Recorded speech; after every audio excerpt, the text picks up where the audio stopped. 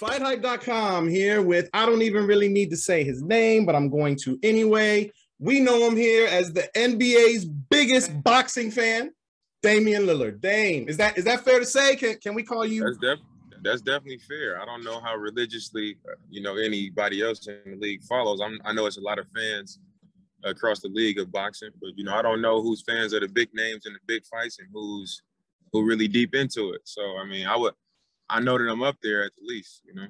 Oh no, yeah. I listen. Anyone that follows you on Twitter knows, like you, you, you in the thick of things, bro. Like yeah. I know you, you stay on top of. I mean, not just the fights, but some of the drama that goes on behind yeah. the scenes and everything. Like I, I know you know boxing. You are what we like to call a die-hard boxing fan. Um, I love boxing, bro.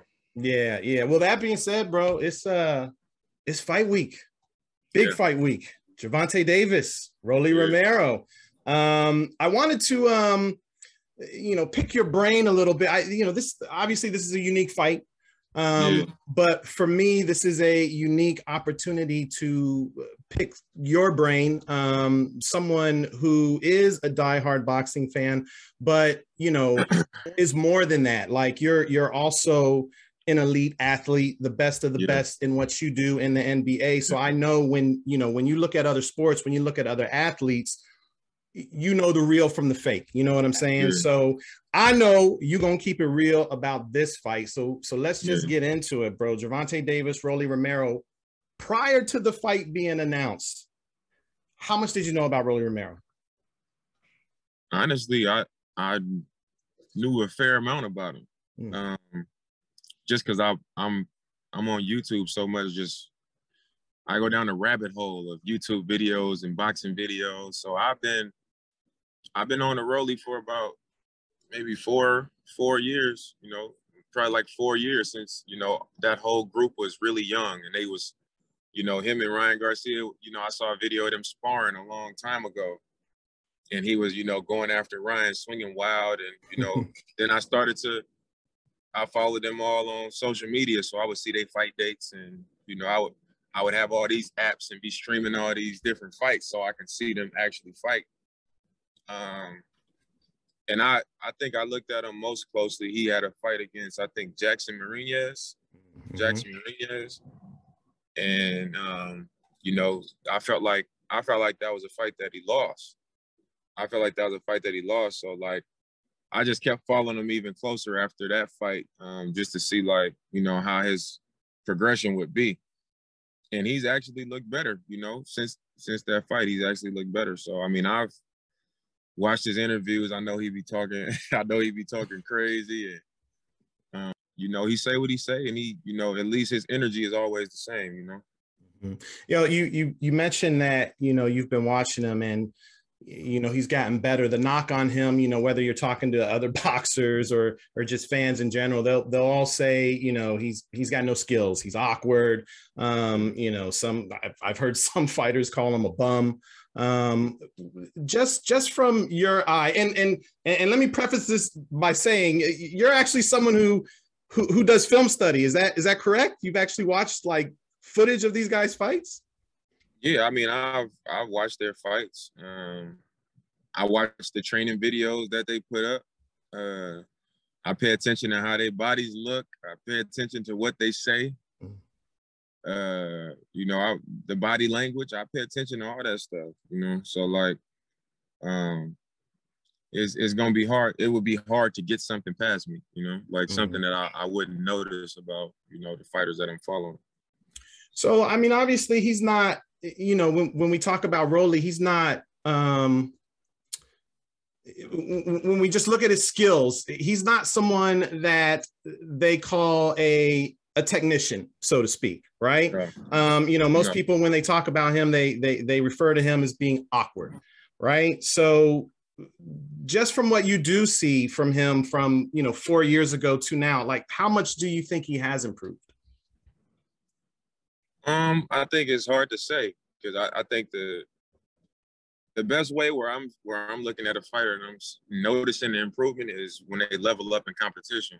Um, because it's you know he's a puncher. He, he's strong. He's big for that division. So um, if he touch any of these guys, especially the ones that's not at a at the top level, and you know the lights gonna go out or they're gonna be hurt and not know how to respond because they're not at that level. So, um, like I said, he has looked her over you know since that I felt like he lost, but I don't think you really know until they get in there and they have to show that you know that, that can actually do something to him. And I think that's what that's what he's in there with right now, where like you're gonna see if it's it's actually imp- more improvement or if you know he just had confidence and comfort and knowing that I'm just better than my opponent. You know what I mean? Mm-hmm, mm-hmm. Well, that's the million dollar question. Um, you know, has he improved enough to give Gervonta Davis a competitive fight? I mean, are are, are we going to see a competitive fight come Saturday?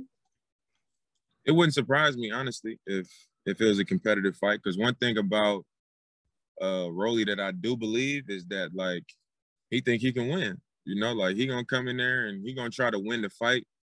He a big dude. Um, you know, and I think being awkward is to his advantage. You know, mm-hmm. when dudes is awkward, those usually the ones that's, you know, is a tougher fight. And you know, if you don't go in there and have some patience, and you know, if Tank ain't in there using his boxing skills and his experience, he ain't the dude you want to go in there with and, and get touched and get caught, you know, because it could be a disaster for him. So um this is gonna be a perfect opportunity to show his improvement. Um and I think I think it's going it has a good chance to be a competitive fight unless he come in there, you know, fighting wild and out of control for the knockout. And you know, Tank has an has real skill. You know, people talk about his power, but he has real boxing skills. So I can see it being competitive, and I can also see, you know, Rolly coming in there aggressively and a little out of control to get him and get hit by something he don't see, you know? So mm-hmm. like it wouldn't surprise me if it was competitive at all, but I think it could go either way. You know, you you mentioned him, you know, uh, talking confident and everything. How how much is that going to play a role in this fight? I mean, obviously, you, you got to be confident anytime you're being competitive, but you know, Rolly has a sense of, you know, his his confidence is almost it's almost like an ignorant type of confidence. You know yeah, what I'm saying? Yeah. Like you can't tell yeah, him nothing. I mean, it like I said, it could it could help him, but it could also it could also hurt him mentally. You know, just speaking as a professional athlete, it might hurt him mentally. Uh, if he has this idea, like I'm gonna knock him out the first round. You know, he got this big head, and I'm a he can't. You know, he he can't he can't take my punch. I got power and whatever.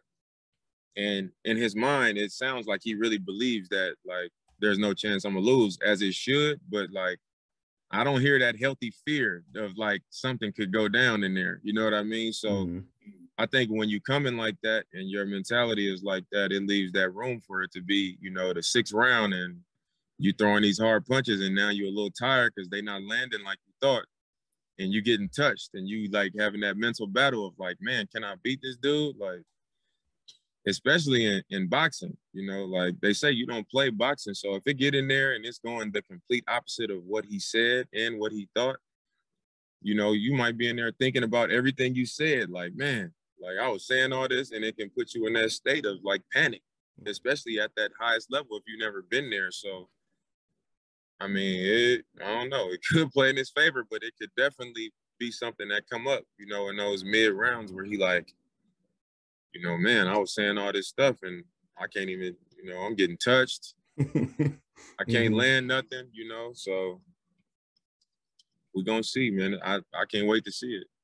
Yo, let me let me flip it on to Gervonta uh, real quick. I, I know you you said you you you read body language in, in cats and everything. So uh, just having said that, when we look back at this fight, I mean, obviously it was supposed to happen in December. It got canceled because of Rolly's situation. Now it's back on. Mm-hmm. You know, during that whole time frame, you know, Gervonta was kind, you know, he was kind of complaining a little bit. You know, he kind of felt like, ah, oh, this is a setup, and you know, just just just all that behind the scenes drama that um, I'm sure you've probably kept up on.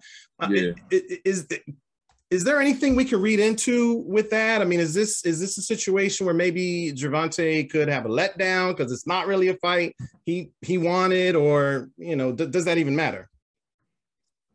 I mean, I think it matters because it's a. I think for one is you know they clearly don't like each other, Mm-hmm. Um, but it's also one of those things where I think about it. I'm like, man, a lot of these dudes that just don't lose have been losing, you know, and mm-hmm. it's it's one of those things where because of him being Tank and him fighting a guy that, like you said, a lot of the, I guess, experts and analysts and all these people are saying, you know, he's a bum and he don't have no skills and he can't do that. So that's that's really. I'll see you later. Yeah, text me. Text me. Uh, okay, bye. Thank you. Uh, but it's like you have all these people saying these things, and it's like that puts pressure on him to have to perform, you know, and that I think that leaves room for a letdown. But I don't think I think Tank is is is ready. Like I ain't never seen Tank go out there and and not do him. You know what I mean? And he's been at this level, so I don't.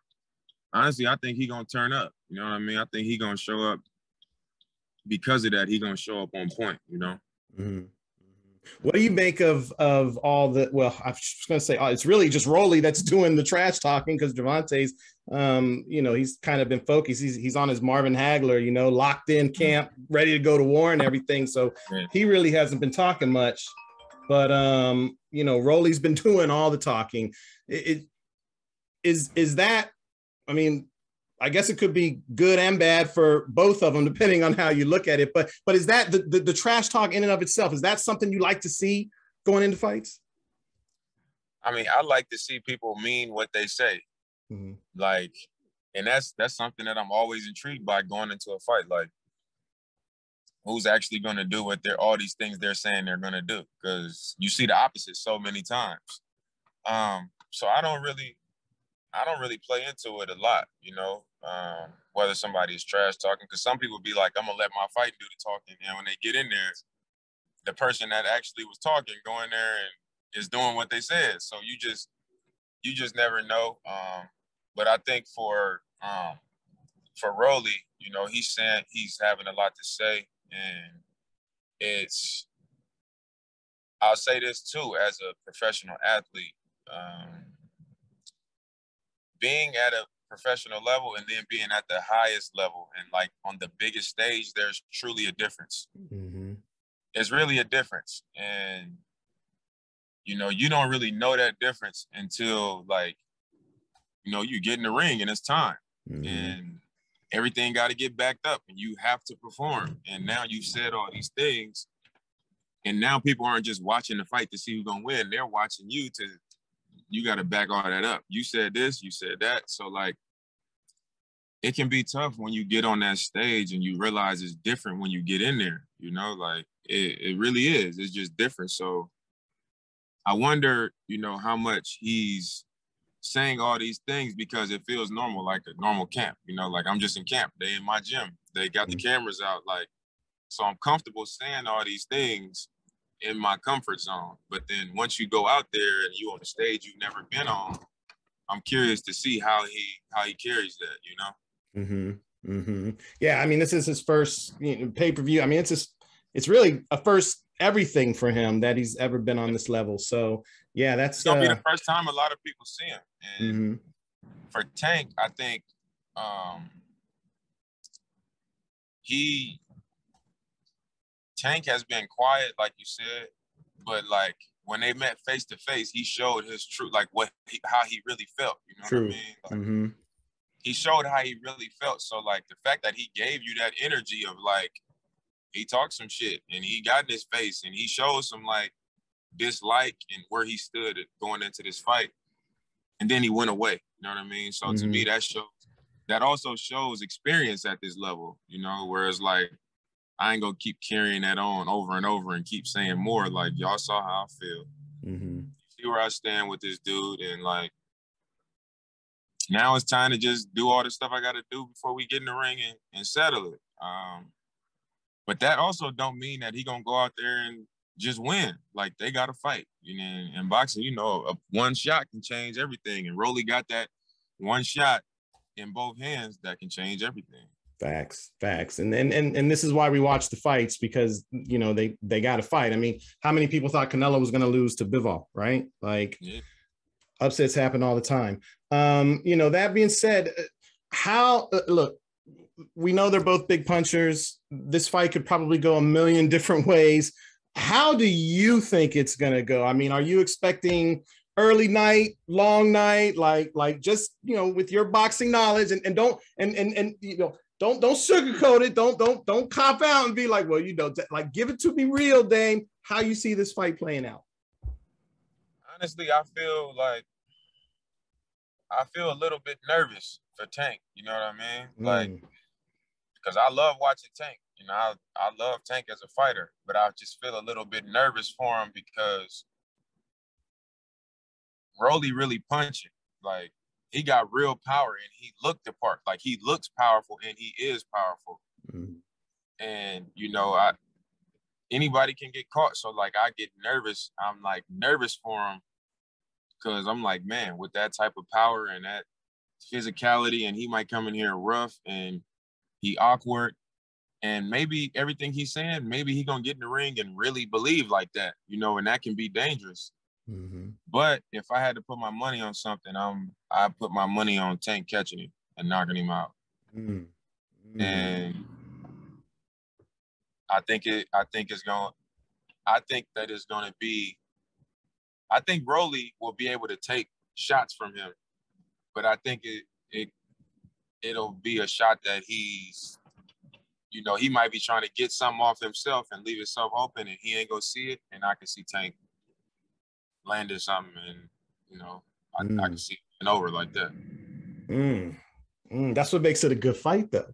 That's what makes it a good fight. The fact that you're a little bit nervous, and you know what I'm saying, like, yeah, it's like I think it. I'm not. I'm not. I'm not counting Rolly out at all. Like, right. But I just, you know, like I said, just from I've seen them both fight. You know, I've heard them both talk. I I feel like I know the personalities. You know, I'm not just going into these fights saying I watched him fight. I saw him knock this person out. Like I listen to what people say, and I listen and I watch the body language of the people around them and what they say, and how they perform versus what they said five fights ago. And you know what I mean? Like I I pay attention, so I don't, you know, I don't say nothing loosely. You know, mm-hmm. where I'm just saying anything. Like Rolly might go in there and have a night, but mm-hmm. I just I, that's just what I see happening. I think Tank gonna catch him.